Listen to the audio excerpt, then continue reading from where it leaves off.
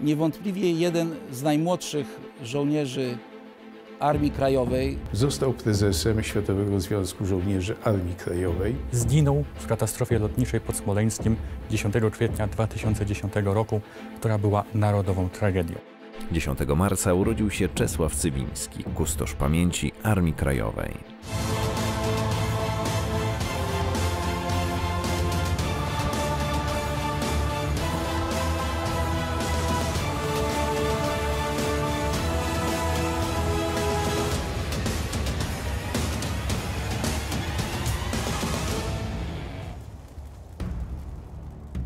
Czesław Cywiński, żołnierz Armii Krajowej i podpułkownik Wojska Polskiego, uczestnik operacji Ostra Brama za odmowę wstąpienia do Armii Czerwonej został wywieziony do łagru. Zginął 10 kwietnia 2010 roku w Smoleńsku. Czesław Cywiński urodził się w Wilnie. Tam się urodził, tam e, tradycje rodzinne go ukształtowały. W czasie, kiedy III Rzesza zaatakowała Polskę, był niemalże po ukończeniu gimnazjum. Jak wielu chłopców wychowanych w atmosferze patriotycznej chciał zostać żołnierzem i został bardzo szybko, bo już w 1942 Pełnił funkcje wywiadowcze i prowadził akcje przeciwko władzom okupacyjnym III Rzeszy. Potem znalazł się w Szarych Szeregach i w Armii Krajowej. W pierwszej brygadzie e, wileńskiej Juranta. wstąpił do Armii Krajowej mając zaledwie 16 lat, czyli to było to minimum, gdzie przyjmowano żołnierzy na funkcje operacyjne, bojowe. gdzie używał pseudonimy Skowronek oraz Ryszard.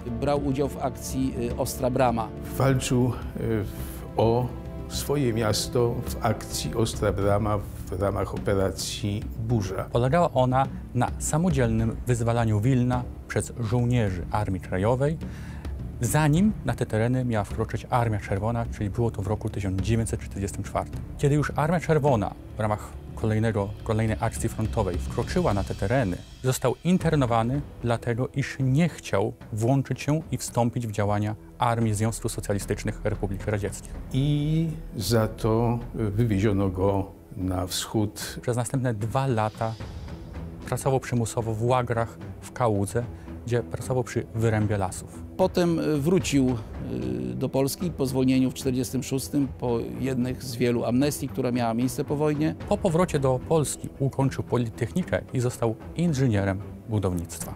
Jego e, praca to między innymi dworzec centralny, to skocznia warszawska, cały szereg innych obiektów. Zainicjował odbudowę podziemnej części więzienia na Pawiaku na potrzeby przyszłego muzeum. gdzie wielu akowców e, zakończyło swoje życie, a wielu tam straciło zdrowie. A kiedy przyszedł na emeryturę, e, starał się pamiętać o e, środowisku kombatanckim.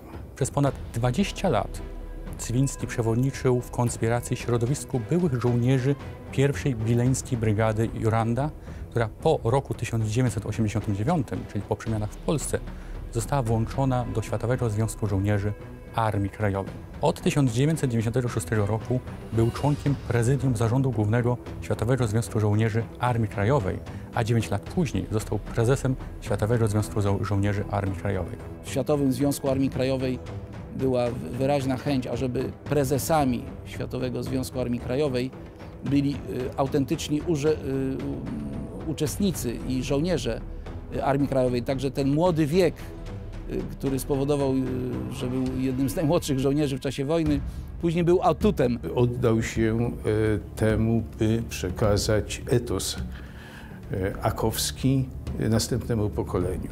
Cywiński jest również znany z tego, iż współzałożył i był pierwszym przewodniczącym klubu historycznego imienia Stefana Grota-Roweckiego.